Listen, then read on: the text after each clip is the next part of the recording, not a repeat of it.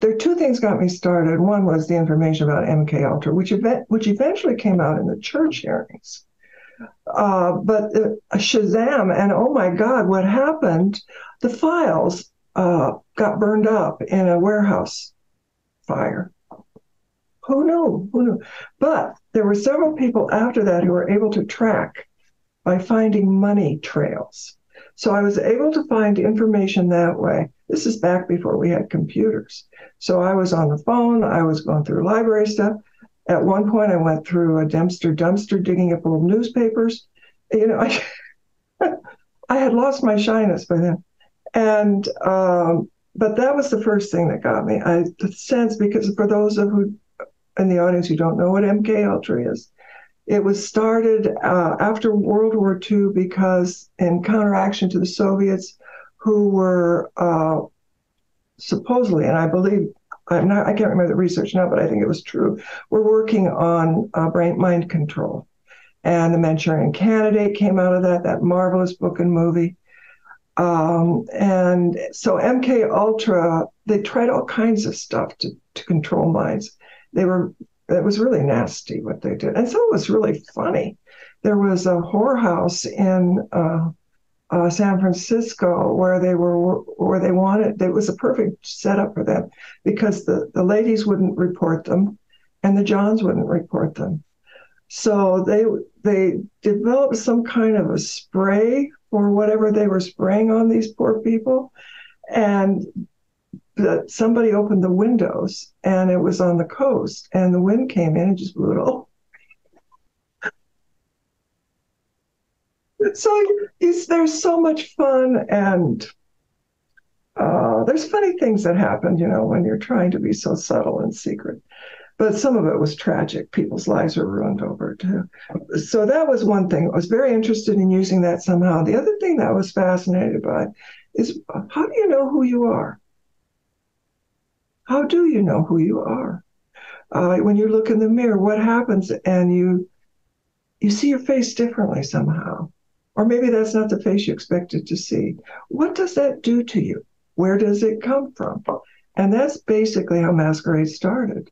It, a, a woman awakens and she does not know who she is, uh, and she has a, a gentleman there who's helping her to get her mind back and she i don't want to ruin the story for people who want to read it but that book took me three or four years to write between the essays and i was working uh, i was uh, an executive secretary for a very wealthy woman in santa barbara uh, which put money again you know to kid for the kids. And then when i wasn't working i was writing that book so it took me a long time. I switched agents at, uh, to henry morrison who also repped Ludlum and Brian Garfield and Larry uh, Larry Block, a whole bunch of really Westlake, oh, wonderful classic. I, and I didn't mind being among that company at all. Uh, and so he sent it to um, Dutton. He, he really liked the book a lot. He'd never represented me before. And he sent it to Dutton. No, yeah. Oh, who the heck did he? he sent it to Elaine Koster, who was at was she at Dutton? I think she was the head of Dutton, and uh, her her she, had an exclusive. So her assistant called Henry on the day she was supposed to report said she's sick. She's at home. She loves this book. She wants to buy this book. Uh, she'll get back to you tomorrow. So Henry has not told me any of this. He wants to spring a big surprise on me. Little did he know what the surprise was going to be. So the next day, apparently, Elaine called him and she says, I love this book. I want to buy this book, but no woman could have written it. So this was in the 90s.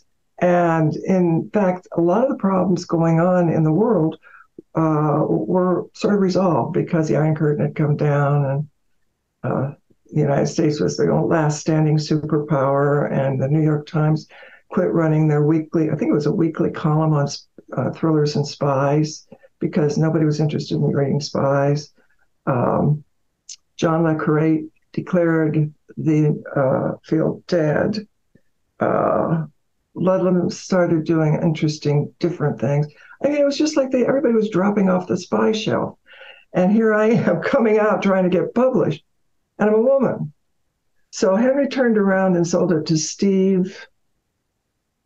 Gosh, I wish I could remember his last name at Doubleday. He was the president of Doubleday. He never asked whether I could, was a woman or not. He never asked for proof. I kept saying to Henry, "How can I prove I'm a woman?" You know, it's just really hard. So, um, so Steve bought it. And then he abandoned me. He, he was going to do for it what he'd done for John Grisham's Firm. But uh, he got an offer he couldn't refuse and moved to Mayfair in England. And it. This is the story of publishing. This is what happens. People see this nice, gentle climb and then boom, you know, the top. And instead, what happened, a new woman came in. And you know how some managers, they like to prove who they are, their worth by getting rid of the predecessors' projects and bad mouthing them. And that happened. My book was scheduled to come out, and I, uh, the head of publicity was my publicist. I mean, I was getting first class treatment. And uh, then she came in, and it was very unfortunate. She cut so much of the support and put it in a cardboard box and sent it to uh, Berkley with a bunch of other hardcovers to try to sell paperback rights because in those days the houses, as you would no doubt remember, the houses, uh, many houses were paperback only or hardcover only. And so I went in with uh, Over the Transom, basically, and uh, a wonderful editor there picked it up, fell in love with it, took it to Elaine, no, took it to Phyllis Grann. And Phyllis loved it. And apparently she took the cover off at the sales meeting because it was a cartoon cover and held the book up and she said, uh, Doubleday really screwed this up. Let's make it a bestseller. And she did. Well, I have two books that I'm sort of working on at the same time, and neither one of them is. And the other one, interestingly enough, at least for me, it's interesting, is a uh, a mainstream novel that I have wanted to work, write for a long time. I, I still have more um, research to do on that.